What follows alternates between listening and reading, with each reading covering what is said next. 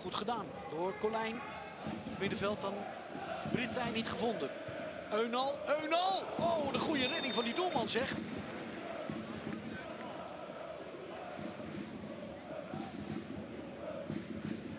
Wie, wie geeft hem het laatste zetje en dan valt hij binnen. Colijn kopt hem binnen.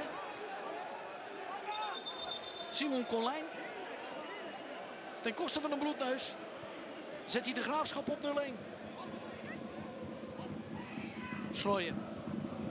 Kijkt waar ruimte is. Daarbij Marien. Marien en de gelijkmaker. Ja, Alvaro Marien. 60% van die goal komt op naam van Juri Schrooien. Want deze voorzet is panklaar. Van Vlerken, nu een goede voorzet. Van Vlerken, oh doet het zelf. Ja, dat verrast bijna Thijs Jansen nog. Het wachten was op de goede voorzet. Van Vlerken dacht, ik doe het zelf.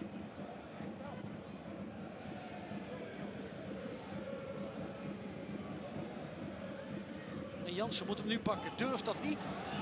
Marien, Marien, Marien. Ja, dan gaat hij er toch in. Hoe is het mogelijk? Jansen twijfelt op de rand van de 16 meter. Moet ik hem nou pakken of moet ik hem koppen? En dan zit hij uiteindelijk helemaal mis. Als eh, Bob Peters nog eens vraagt of er iemand druk kan geven, wordt die bal ingebracht.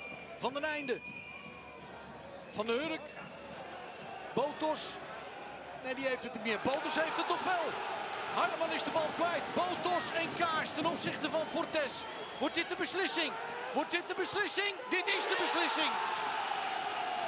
Over en uit voor de superboeren. Martijn Kaars. Hij scoort dan toch weer. Kaars maakt het af. Hij beslist hier. Helmond Sport tegen de Graafschap. En scoort de 3-1.